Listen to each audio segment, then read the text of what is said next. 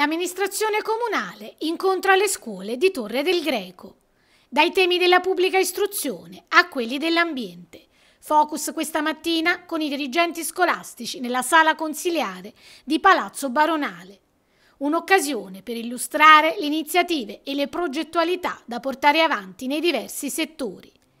Insieme al sindaco Luigi Mennella sono intervenuti l'assessore alla pubblica istruzione Maria Teresa Sorrentino, l'assessore con delega alla transizione ecologica Laura Vitiello, l'assessore con delega all'ambiente Antonio Ramondo. I temi sono stati tanti. La cosa più bella che mi piace sottolineare è che per la prima volta questo incontro prevede la partecipazione di tre assessori, quindi proviamo a mettere insieme i temi che riguardano l'istruzione da una parte, l'ambiente e l'energia, quindi con il tema delle energie rinnovabili dall'altra. Per quanto riguarda le istruzioni abbiamo affrontato tematiche importanti quali eh, indicazioni operative e tecniche rispetto al servizio di mensa e di trasporto che come sapete il servizio di mensa partirà la settimana prossima, praticamente il 19 ottobre. A questo proposito esorto chi non l'abbia ancora fatto a eh, procedere con la nuova iscrizione e con il rinnovo dell'iscrizione precedente.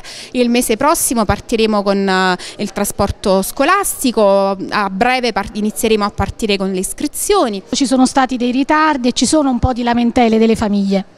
Allora, rispetto alla mensa in realtà siamo, ci sono stati degli anticipi, nel senso che partiamo con un mese di anticipo, quasi un mese di anticipo rispetto all'anno scorso e questo è un risultato molto importante ed è obiettivo di questa amministrazione lavorare affinché questo tempo possa anticiparsi sempre di più. Rispetto al trasporto capisco che quest'anno è partito un po' in ritardo, io mi scuso con le famiglie rispetto a questo ritardo, purtroppo è un ritardo che abbiamo un po' ereditato perché eh, come qualche genitore già sa rispetto al trasporto scolastico era in atto quando ci siamo insediati una gara per l'affidamento del servizio ad un ente e ovviamente abbiamo ereditato un po' le difficoltà che erano insite in questa gara e questo ha portato dei ritardi. Tra le iniziative in cantiere anche un punto lettura e diversi progetti extrascolastici. Con una delibera di giunta abbiamo deciso di spostare il punto lettura che adesso vive all'interno di un istituto scolastico che abbiamo costituito con la fondazione Polis.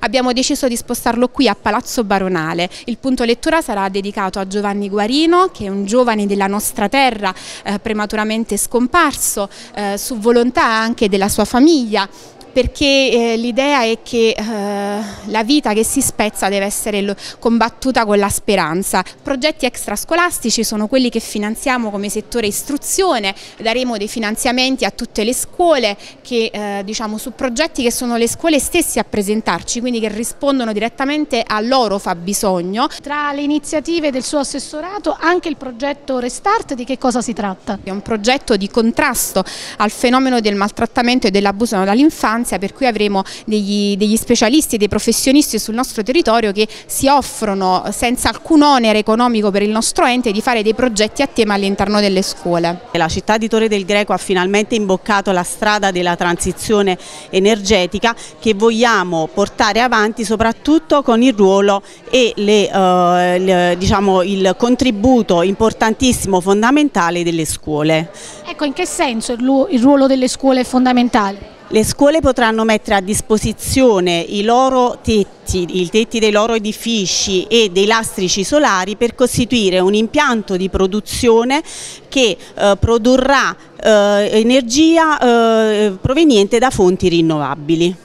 Quali saranno i tempi? A breve sarà eh, eh, pubblicato sul sito del Comune di Torre del Greco l'avviso di manifestazione interesse per costituire queste comunità energetiche. Seguiranno una serie di incontri da parte eh, nostra de, dell'amministrazione comunale con esperti che ehm, diciamo, paleseranno, spiegheranno a tutti i vantaggi che conseguiranno all'adesione alle comunità energetiche. Che iniziative intendete mettere in campo proprio nel segno della sensibilizzazione della platea scolastica? Se la uh, dirigenza è disponibile e noi come comune siamo attrezzati ed organizzati per fornire del materiale didattico relativamente a una specificità, inserire la materia ambientale nell'ambito del percorso formativo delle scienze naturali in modo tale da dare dei supporti proprio didattici, formativi che possono aiutare nel corso di formazione e la, la dirigenza stessa e essere eh, fondamentali per eh, un ciclo istruttivo nei confronti dei ragazzi a secondo del ciclo eh, nel quale loro si trovano, quello primario, il secondario e quello degli istituti superiori. Per noi la scuola è l'interlocutore primario perché la scuola sono i ragazzi, la scuola è il futuro. Da qui l'idea ovviamente di fare un incontro con i diversi assessori e da parte mia anche il saluto del sindaco che stamattina ha spiegato anche una serie di progetti che chiaramente vanno in quella direzione. Nessuna anticipazione?